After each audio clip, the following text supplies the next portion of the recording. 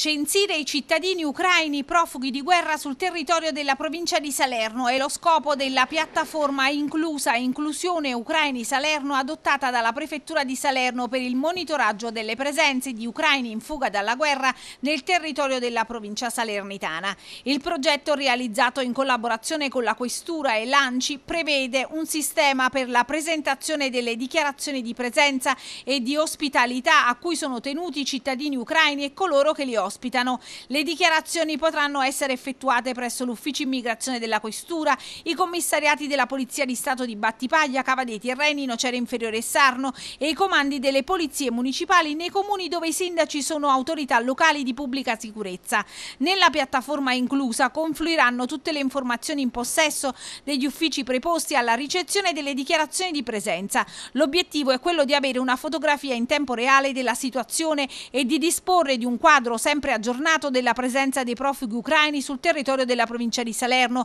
che prevalentemente giungono in maniera spontanea